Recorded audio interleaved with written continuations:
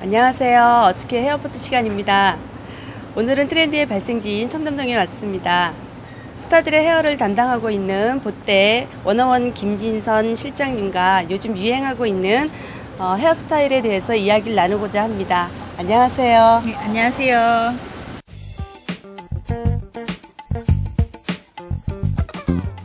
어떤 스타일의 펌이 유행하고 있나요? 어, 바디펌 이렇게 깔- 깔끔하고 시크한 느낌 낼 수 있는 바디펌이 있고요. 그 다음에 좀 lovely하게 표현할 수 있는 lovely 펌이 있고요. 그 다음에 좀 자연스러우면서도 natural한 ballon 펌이 있으세요.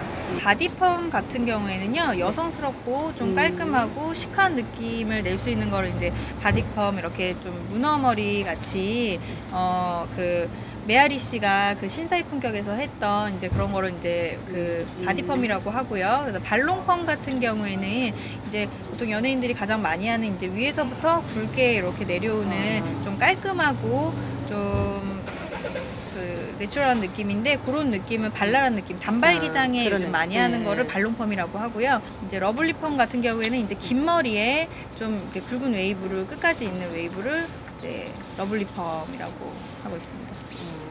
네, 펌 자체를 해놓으면 크게 우리가 웨이브에서 잘 못 느끼는데 혹시 컬러와 조화를 이렇게 좀 느끼려면 네. 이 컬러의 조화에 대해서 좀 네.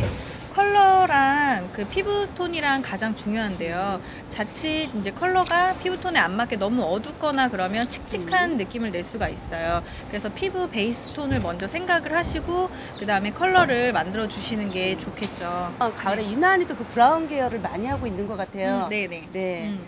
대체적으로 브라운 계열에 많이 하는 이유가 음, 동양인한테 사실 가장 잘 어울리고요. 네. 이렇게 ash 계열이나 matte한 그런 카키빛보다는 요즘에는 gold brown, 그 다음에 그 초코 브라운 이렇게 약간은 따뜻한 느낌을 낼 수 있는 컬러를 많이 하죠. 그러니까 동양인들이 아무래도 노란 베이스를 많이 갖고 있으시기 때문에 어, 컬러 자체도 좀 윤기나 보이면서도 예.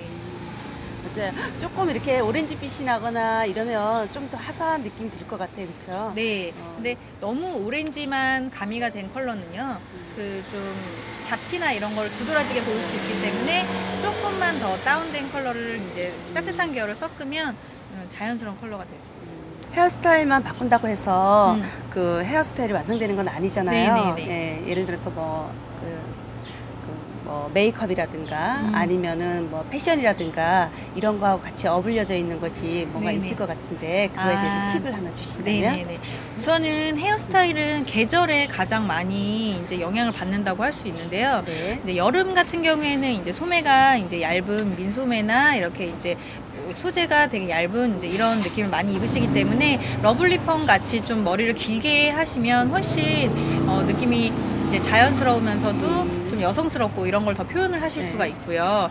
그다음에 ballon펌 같은 경우에는 이제 단발 기장에 이제 요즘 계절에도 많이 하는데요. 이제 깃이 좀 이렇게 두꺼운 의상을 입으면 이제 겹대어 입고 하시면 이제 머리가 너무 길면은 풀르기에도 사실 지저분하시거든요. 네. 그러니까 이제 단발 기장에 좀 이렇게 머리를 묶어 묶거나 이렇게 풀러도 자연스럽게 되실 수가 있고 그 다음에 제가 아까 보여드렸던 body펌 같은 경우에도 이렇게 건조한 날씨에 윗부분은 굉장히 깔끔하면서도 밑에만 out curl이 있기 때문에 옷이 코트도 많이 있고 그 다음에 이제 사무실에서 이제 코트를 벗었을 때 그냥 office look에도 굉장히 단아하면서도 잘 어울리는 어, 느낌이라고 할 수 있죠. 주로 body펌을 좀 많이 하겠어요, 요즘에.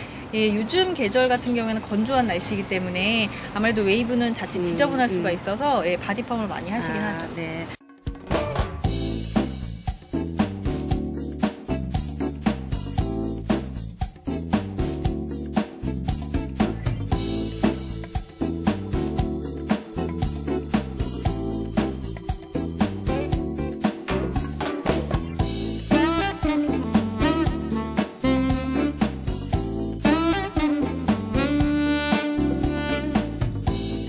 어, 지금 컬이 되게 자연스러운 것 같아요. 네. 네, 이게 손질하는 방법 좀. 네.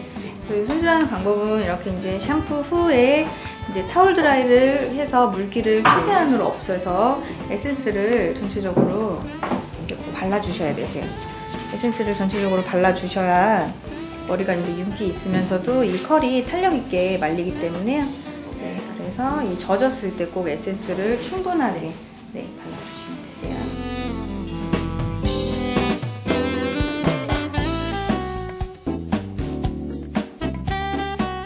좀 발랄한 느낌이 내고 싶으실 때는 이제 다 이제 뒤로 말려주셔서 이렇게 아웃컬러 연출을 하시고요.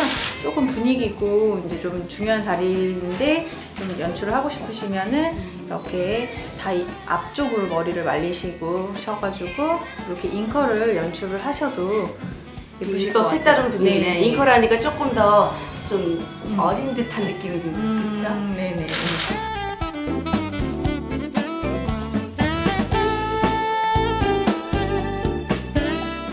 가장 그 뭐랄까 모발이 손상될까봐 걱정들을 많이 하는데 네네네. 펌할 때 혹시 모발 손상을 막기 위한 어떠한 그런 또 음, 모발을 손상, 그러니까 평소에 사실 헤어 컨디션이 안 돼 있으면 펌을 하고 하러 오셨어도 펌을 안 되는 경우도 되게 많거든요. 그래서 이제 저희가 이제 클리닉을 한 2, 3차 시술을 한 후에 이제 제대로 컨디션이 됐을 때 펌을 들어가는 경우도 있는데 음. 평소에 이제 에센스나 이제 자외선 차단될 수 있는 에센스나 이제 일주일에 한두 번씩 이제 트리트먼트를 꼭 사용해 주시는 게 좋죠. 샵에서는 왜 선생님들이 이쁘게 이렇게 손질을 해주니까 이쁜데 집에 가서 하려고 그러면 왜 똑같이 안 나온다 이런 얘기들을 많이 하잖아요. 네, 그렇죠. 네. 어떻게 하면 이쁘게 이렇게 연출할 수 있는지. 네, 그래서 시- 집에서 쉽게 연출하실 수 있는 음. 펌이 가장 중요한데요. 그래서 이제 아무래도 이제 좀 열로 하는 펌 같은 경우에는 음. 모발에 힘이 있기 때문에 힘을 넣어주기 때문에 일반 그냥 그런 펌보다는 훨씬 힘이 있어서 에센스 약간 컬링 들어간 이제 좀 왁스 성분이 있는 에센스랑 같이 좀 연출을 하시면 굉장히 윤기나고 괜찮으실 거세요. 그리고 이제 펌을 하시고 나서도 너무 오래 지속돼서 이제 그 다음 펌을 할 게 아니라 한 3주 정도 지난 후에 커트를 한번 하시면 훨씬 펌이 오래 지속되고 좋- 좋으시죠.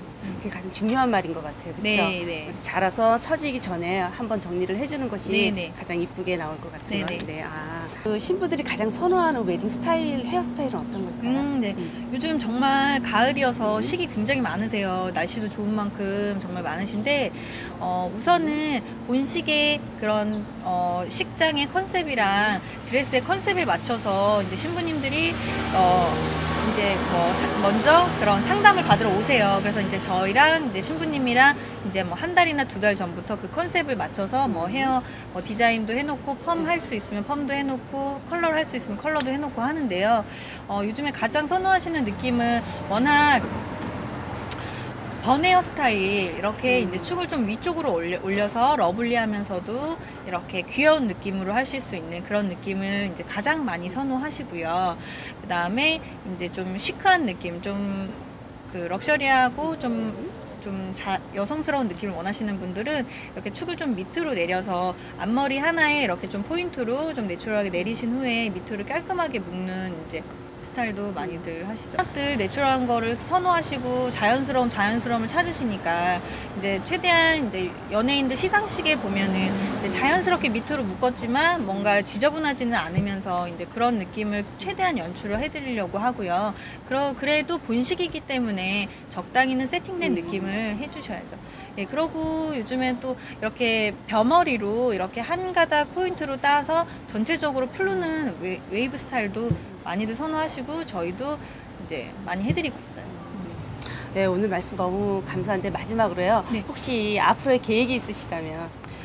네, 저는 앞으로 계획은요, 이제 저희 악- 압구정 청담 쪽에서는 이제 일반 고객님들이 사실 이렇게 지나가다가 미용실이 뭐 머리를 하고 싶다 해서 들리시는 분들은 별로 없으세요. 그렇기 때문에 이제 이런 홍보를 더 많이 해서 이제 일반 고객들도 저희 샵이나 이쪽 주변에 이제 많이들 머리를 그러니까 미용실이 굉장히 많은데 꼭 예약을 해서 와야 되지 이제 생각을 하시는데 이제 그런 거를 조금 격차를 줄이고자 하는 게 네, 저희 꿈이자 바람입니다. 네. 그렇게 되길 바라겠습니다. 오늘 너무 감사합니다. 네, 고맙습니다. 네. 네.